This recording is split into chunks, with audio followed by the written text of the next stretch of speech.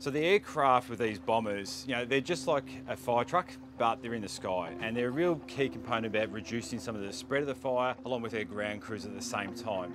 Uh, they can see, they can access areas that our fire trucks can't access at times during the severity of fires. Uh, at the moment across the state, as we know with the fires in the northeast um, and down in Gippsland, you know, there's a large amount of aircraft being used, particularly because of the, the remote areas of those. So this year we're going to see there's over 50 aircraft across the state, as well as the, the call when needed additional aircraft. And that's a significant uh, amount of resources, firefighting resources, to assist us on the ground.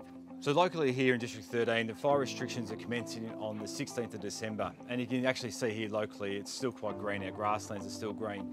But what we're going to expect is once the, the summer starts to kick in, these grasses and our, our fuels will start to dry very quickly. And you know, there is always going to be a need for the aircraft, and particularly those like our helicopters um, on the predetermined dispatch that take off just like when the fire trucks get paged and they respond to provide that fast attack um, when the fires are starting to develop.